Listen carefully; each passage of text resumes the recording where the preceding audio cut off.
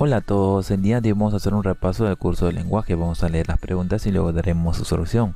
Nos dice en el enunciado Daniel escribió estos versos, el lenguaje cumple la función denominada. Para empezar, nos están preguntando sobre esta frase, digamos este enunciado, Daniel escribió estos versos. Ahora, la función del lenguaje, primero hay que recordar que existe un emisor y hay un receptor, el que va a recepcionar el lenguaje.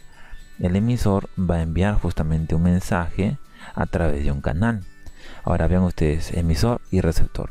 Cuando se busca en el mensaje conmover, digamos, eh, buscar una respuesta al receptor, eso se llama función apelativa del lenguaje, lo que se ve en esta parte, la alternativa E.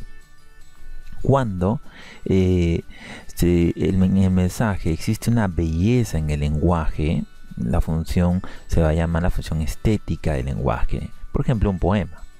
Ahora, cuando se expresa una emoción del emisor, digamos, lado emotivo, eso se llama expresión, función eh, expresiva o emotiva. Cuando se centra en el canal y se busca establecer una comunicación entre el receptor y el emisor, es decir, se busca entablar una comunicación o terminar una comunicación, por ejemplo, un saludo, eh, una pregunta, va a necesitar una respuesta. Entonces vean ustedes, ¿no es cierto? Estos ejemplos son la función fática del lenguaje. Y la función representativa simplemente sería la transmisión de información. Es la más común, la que más usamos. Y cuando en este mensaje hablamos del mismo lenguaje, eso se llama la función metalingüística del lenguaje. Ahora, hemos hablado de estos pequeños ejemplos. En el caso de esta oración, cuando dice eh, Daniel escribió estos versos, simplemente estamos transmitiendo una información. Y eso se llama la función expresiva o informativa del lenguaje. Y esa es la respuesta. La siguiente pregunta. Marque la alternativa donde hay una frase verbal atributiva. Para empezar, eh, la frase verbal es atributiva cuando el verbo es copulativo. Cuando un verbo es copulativo, cuando existe el verbo, nunca se olviden, ser, estar. Ser y estar. Estamos hablando de los famosos verbos copulativos. Entonces, primero es eso, buscar un verbo copulativo, es decir, buscar el verbo ser y estar. Y eh, también esto, este verbo va a contar con un atributo que es una frase adjetiva o una frase nominal que va a modificar al sujeto. A ver, para empezar, busquemos esto, digamos, estos verbos. Por ejemplo, ellos han estado trayendo los libros. Si existe, digamos, eh, acá, pero ya está compuesto, ese es el detalle. Han estado, han estado. Los leones estaban. Vean ustedes, el verbo ser estar está ahí. Julio fue, ahí está. Verbo ser estar. Los niños están, ahí está. Arturo y Lucas fueron al gimnasio. En todos los ejemplos existe el verbo ser estar, es decir, que estamos ante, ver, ante digamos, eh, verbos copulativos. Pero, para que sea una frase verbal atributiva, ese complemento, ese atributo, tiene que ser eh, una frase, eh, digamos, adjetiva. Tenemos que buscar un adjetivo. Los sustantivos, en este caso, por ejemplo, ellos han estado trayendo los libros. En este caso, el sustantivo, o digamos, perdón, el sujeto, va a ser ellos. En el caso de los leones estaban durmiendo, los leones es el sujeto. Julio fue amonestado por su padre, Julio es el sujeto. Los niños están muy contentos, los niños. Ahora, Lucas y Arturo fueron al gimnasio, Lucas y Arturo es, el sujeto. Ahora, pero tenemos que buscar nosotros eh, un atributo, es decir, que va a estar justo, vean ustedes en lo que en cada oración que hemos subrayado un atributo que sea un adjetivo. Veamos, trayendo los libros no es un adjetivo, durmiendo tampoco. Eh, amonestado por su padre. Eh, muy contentos, sí. Muy contentos. Es una frase que sea adjetivo, toda una frase. Al gimnasio no tanto, pero además de ser una frase adjetiva, tiene que modificar a quién? Al justamente eh, sujeto. Y en este caso, cuando dicen muy contentos, si están modificando al sujeto que son los niños. En los otros casos, no. Vean ustedes. Y esto es un poquito complicado porque son básicamente ya les analizar toda la estructura de la oración. Y justamente esos temas de frase verbal y digamos clase de verbo, el tipo de oraciones compuestas, eh, oraciones bimembres, unimembres, etcétera, etcétera, eso se veía al final del curso de lenguaje porque como ustedes ven se necesita mayor análisis. En este caso la alternativa es la letra D, los niños están muy contentos, esa es la respuesta. Vamos a la siguiente pregunta. Nos dice, ¿en qué alternativa hay un complemento predicativo?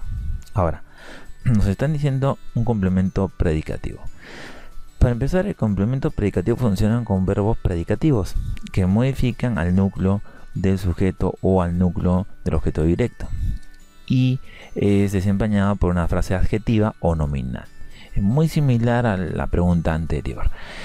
Para empezar, eh, digamos un verbo predicativo no es un verbo copulativo. Mm, ¿Cómo es esto? Si encontramos un verbo copulativo, obviamente no va a ser predicativo.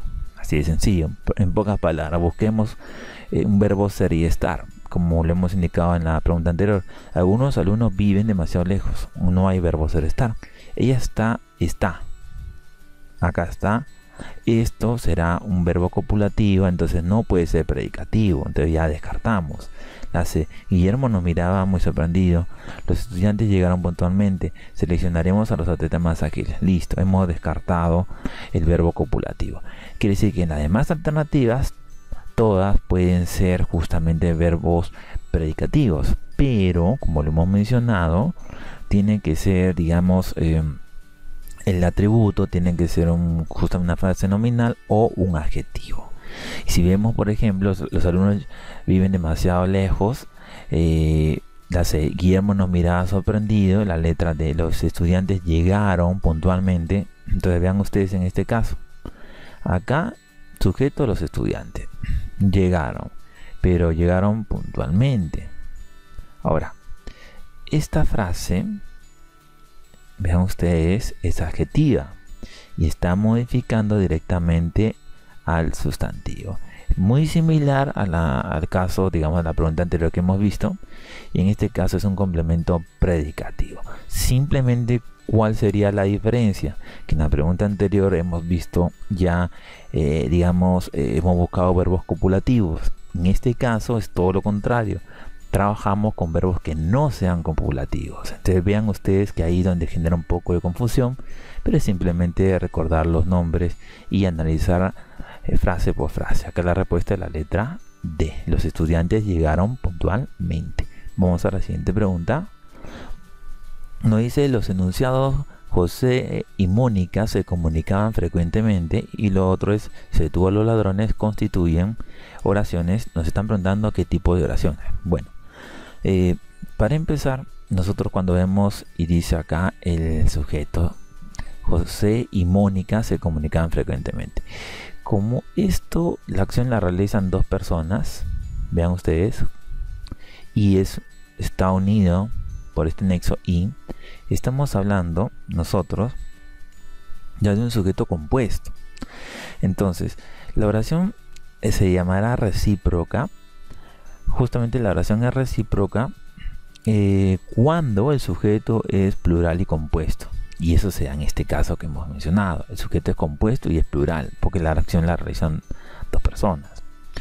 Ahora, y eh, digamos, la oración será impersonal cuando la acción verbal es hecha por una, eh, por una supuesta tercera persona difícil de reconocer. Por ejemplo, se detuvo a los ladrones.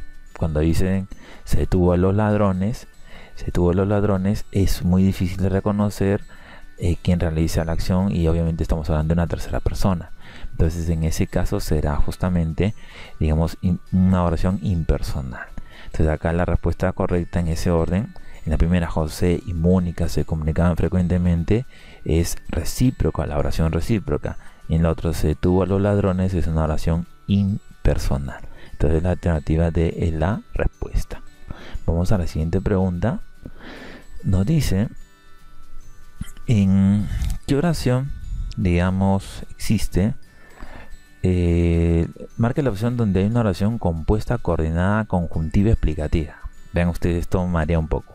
Oración compuesta, hasta ahí correcto. Coordinada, correcto. Conjuntiva y a la vez explicativa. Para empezar, acá eh, el detalle está cuando nos dice conjuntivo.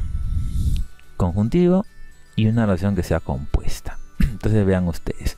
Cuando sea conjuntivo tenemos que buscar obviamente una conjunción y son los nexos. ¿Cuáles son estas conjunciones? Por ejemplo, eh, la preposición es decir. Vean ustedes, ¿no? Podemos encontrar estos nexos, es decir, en la coordinación y, o, etcétera, ¿no es cierto? Pero son nexos, entonces vean ustedes en las oraciones, simplemente hay que reconocer eso. Cuando regresen, ellos hablarán contigo. Eh, vean ustedes, Mariana ya se casó, es decir, ya es señora. Entonces acá tenemos ya el nexo. Directamente. La C no compra, para ese televisor porque es caro. Acá tenemos otro nexo. Ahora, los alumnos redactaron como les sugerí. No. Unos están en el taller, otros leen en la biblioteca. Solamente hay dos oraciones que nos podrían generar un poco de duda. Pero la C dice, no compraré ese televisor porque es caro. Pero vean ustedes, eh, simplemente acá la frase completa sería todo esto porque es caro. La causa, digamos, ¿no es cierto? El por qué no compran ese televisor. Pero, si analizamos bien, en la alternativa B, Mariana ya se casó. Entonces ahí tenemos toda una frase ya. Y lo otro, si separamos decir ya es señora, vean ustedes, tenemos otra frase. Entonces, como hay dos frases y están unidas por un nexo, por este nexo que es, es decir, estamos hablando de una oración que es compuesta, que es coordinada y que a la vez es conjuntiva, porque acá está la conjunción, es decir, y se está explicando. En pocas palabras, digamos, em, para no confundirnos un poco, para aclarar esto, la conjunción coordinada, eh, digamos, eh, es una oración compuesta conjuntiva. Bueno, ¿cómo es esto? Cuando es explicativa la oración, sus proposiciones se unen o se relacionan a través de conjunciones. Una de estas conjunciones es el famoso es decir, que lo hemos mencionado. Y eso se da justamente en la alternativa B. La respuesta es la alternativa B, Mariana en ese caso, es decir, ahí está el nexo, ya señora. Esperamos que les haya gustado este video, esperamos sus comentarios y sugerencias y los invitamos a que se suscriban a este canal para que puedan ver todos los videos que tenemos para ustedes. Gracias a todos.